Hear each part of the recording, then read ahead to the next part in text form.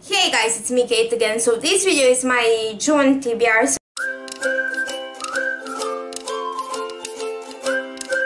So let's go with the Copley rule number one. So that's when we landed on last one and let's go with the rule number one. It's a three. One, two, three is historical fiction.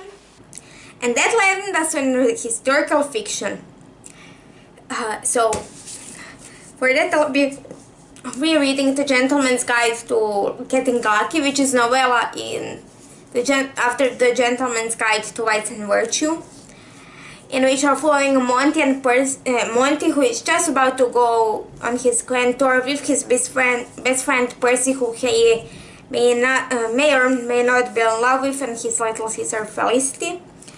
It's a novella between first and second books. Uh, it's cute, it's funny, because it's ridiculous, so it goes on a pile over there. Let's go into roll number two. Let's go with roll number two. We have a two and its characters and we have read a, uh, read a book featuring a character who likes dogs, okay? So rule number two lend us on a character card and that and I put read a book featuring a character who likes, likes dogs. Let me tell you that I forgot that that was one of the prompts that was written on there there because uh, most of the prompts were written in 2020 one 2020 2021 I think. I don't remember. I think 2020 but uh, I honestly forgot that this was even a prompt that was in a pile. Uh, let me tell you there's a couple of others that I for, forgot that were in there. Uh, mostly because uh, I know some of them I don't know all of them. Because some of them were really really specific. And uh, as I said most of them were written in like 2020 2021 so I just forgot that that could be one of one of the prompts so.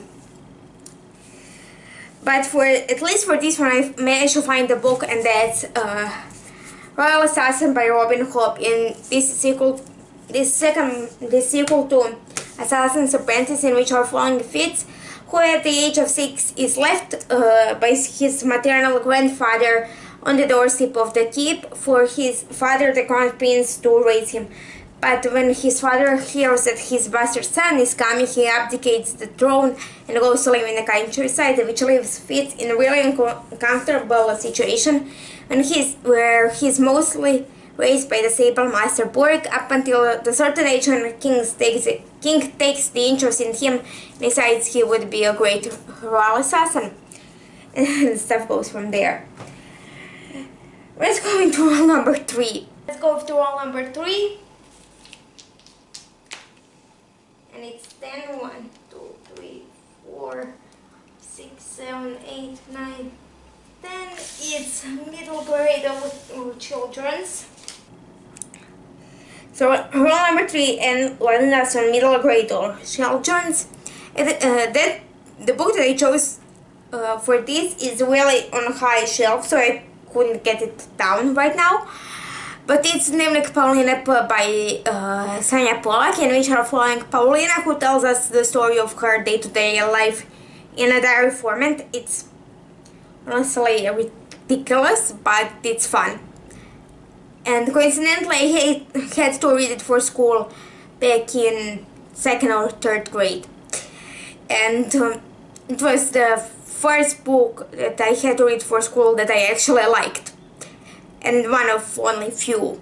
So let's go into first uh, role, role which was um, because I got double on the roll number two so I'm going to roll, roll number four. Now let's go with roll number four. It's a seven. One two three four five six. One two three four. It's gifted. You know what? I'm gonna roll again. Four teaspoon. And it's an eight. One, two, three, four, five, seven, eight is paranormal. So roll number four, I skipped the original prompt to go to the original supposed to go to to paranormal where I had them to choose two books for and for that I'll be reading Witch Bane and Witch Minion by Lisa Casey. Which are third full-length book and first novella in Kitsune Chronicles series in which are following in which are following Sebastian who is a Kitsune which is Japanese ninth-tailed fox spirit of elemental magic. Uh, and uh, he's been around on a run ever since something happened to him a year ago. Up until now, now when he bumps into an alpha werewolf named Liam who actually saved him a year ago. And stuff goes from there. Let's just say that the series series gets far more ridiculous than uh, from here on out, so yeah, that's it for this video. If you like, please like, share, and subscribe. Down below you can my social media, my email, and some other stuff, and I'll see you next one.